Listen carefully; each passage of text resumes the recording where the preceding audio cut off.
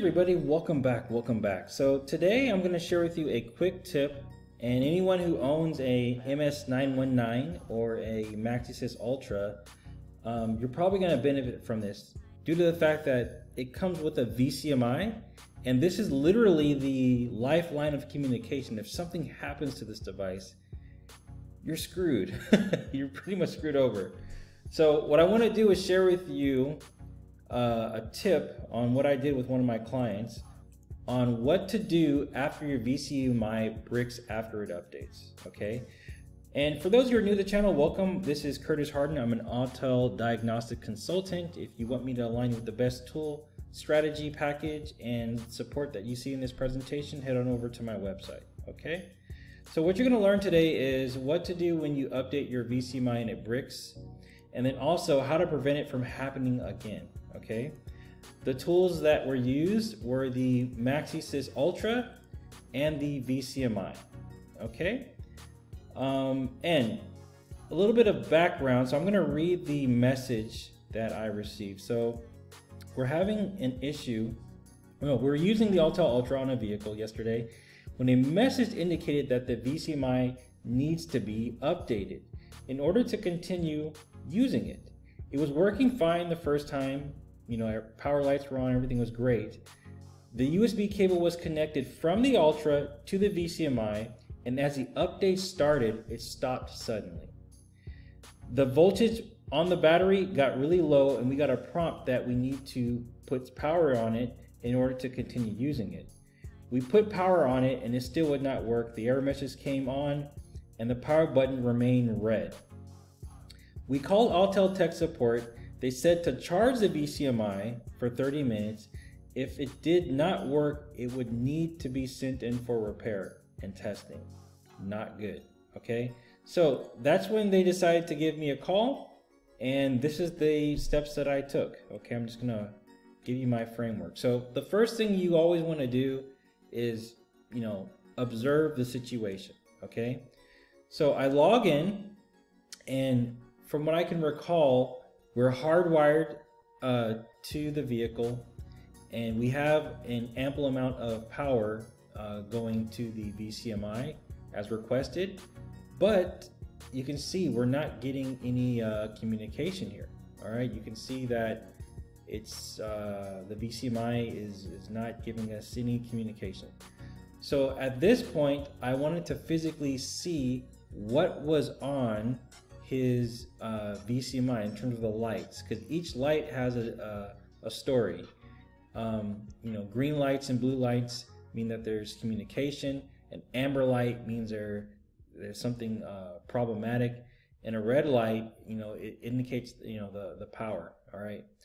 Um, now you can see he's plugged in here, and uh, everything seems fine.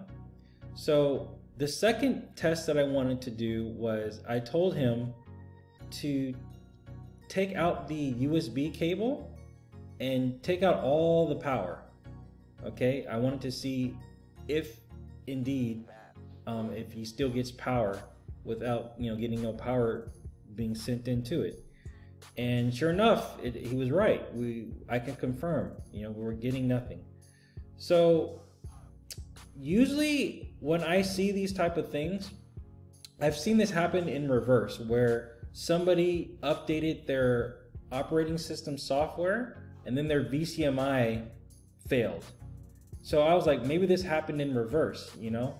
So I encouraged him to update his operating system. All right, and, and you can see here, we did have an update for it. And then after we update the uh, operating system, um, I'm gonna attempt to download the firmware, okay? So the computer restarted it and we have two more updates. I'm just gonna go ahead and download these two. All right, then the libcom. All right, so we got the libcom, okay? So now at this point, I'm gonna click the VCMI uh, icon at the bottom here and uh, attempt to do the procedure again, okay? So where is it? All right, there we go. So we're right there. Now we got a prompt battery's too low. So this is the prompt, you guys. Okay. So what I want you to do, if you see this prompt, okay, check your your Autel update. Click the big green update button first to verify if you don't have any operating system or system updates available. Make sure you have all those up to date, then go back and update it. Okay, and that's how you'll avoid this uh, situation.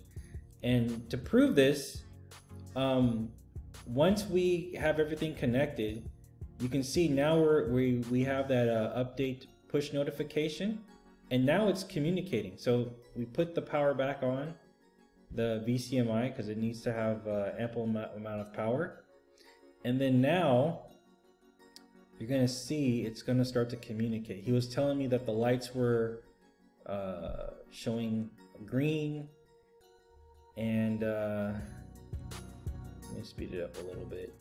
There you go. Software is updating. So it's important not to interrupt this process because it will uh, potentially damage the VCMI.